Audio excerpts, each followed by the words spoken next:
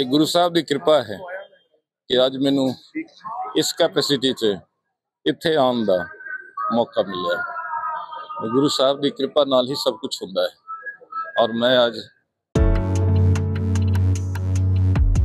ਇਹ ਸੀਐਮ ਸਾਹਿਬ ਜੀ ਦੀ ਪਹਿਲੀ ਸਰਕਾਰ ਹੈ ਜਿਨ੍ਹਾਂ ਨੇ ਸਾਨੂੰ ਇੰਨਾ ਮਾਣ ਬਖਸ਼ਿਆ ਹੈ ਜਿਨ੍ਹਾਂ ਨੇ ਸਾਨੂੰ ਤੀਰਥ ਯਾਤਰਾ ਤੇ ਭੇਜਿਆ ਹੈ ਸੋ ਅੱਜ ਬੜੀ ਖੁਸ਼ੀ ਹੋ ਰਹੀ ਹੈ ਮਨ ਨੂੰ ਕਿ ਪ੍ਰਮਾਤਮਾ ਨੇ ਕੋਈ ਡਿਊਟੀ ਲਾਈ ਸੀ, ਉਹ ਪੂਰੀ ਕਰ ਰਹੇ ਹਾਂ। ਉਹਦੇ ਲਈ ਮੈਂ ਤੁਹਾਨੂੰ ਸਾਰਿਆਂ ਨੂੰ ਵਧਾਈ ਦਿੰਦਾ ਇਹ ਬਲ ਤੁਸੀਂ ਬਖਸ਼ਿਆ ਕਿਉਂਕਿ ਜਨਤਾ ਦੇ ਵਿੱਚ ਹੀ, ਲੋਕਾਂ ਦੇ ਵਿੱਚ ਹੀ ਪ੍ਰਮਾਤਮਾ ਵਸਦਾ।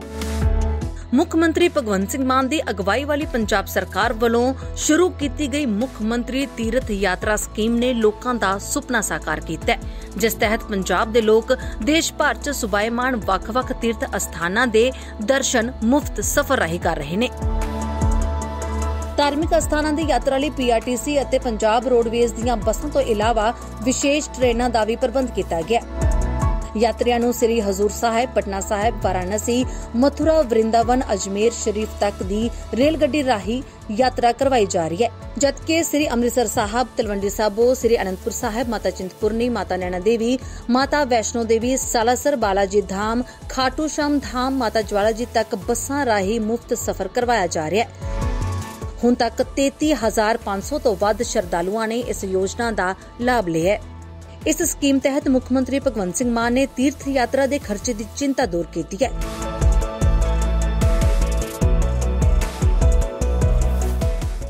ਗੁਰੂ ਸਾਹਿਬ ਨੂੰ ਅਰਦਾਸ ਕਰਕੇ ਆਇਆ ਹਾਂ ਕਿ ਜੋ ਹੈ ਪੰਜਾਬ ਦੇ ਲੋਕਾਂ ਲਈ, ਪੰਜਾਬ ਸਰਕਾਰ ਲਈ ਤੇ ਸਾਰੀ ਹਿਊਮੈਨਿਟੀ ਲਈ ਜੋ ਹੈ ਸਭ ਨੂੰ ਇਸ ਤਰ੍ਹਾਂ ਦੀ ਸੋਚ ਦੇਣ ਕਿ ਅਸੀਂ ਹਮੇਸ਼ਾ ਅੱਗੇ ਵਧਦੇ ਰਹੀਏ।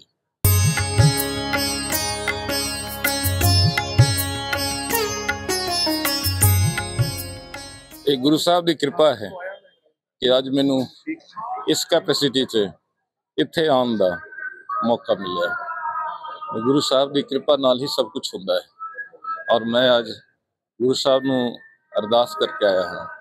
ਕਿ ਜੋ ਹੈ ਪੰਜਾਬ ਦੇ ਲੋਕਾਂ ਲਈ ਪੰਜਾਬ ਸਰਕਾਰ ਲਈ ਤੇ ਸਾਰੀ ਹਿਊਮੈਨਿਟੀ ਲਈ ਜੋ ਹੈ ਸਭ ਨੂੰ ਇਸ ਤਰ੍ਹਾਂ ਦੀ ਸੋਚ ਦੇਣ ਕਿ ਅਸੀਂ ਹਮੇਸ਼ਾ ਅੱਗੇ ਵਧਦੇ ਰਹੀਏ देश दुनिया की हर खबर सबसे पहले देखने के लिए फॉलो करें Dainik Savera TV YouTube Facebook Instagram X और व्हाट्सएप चैनल पर।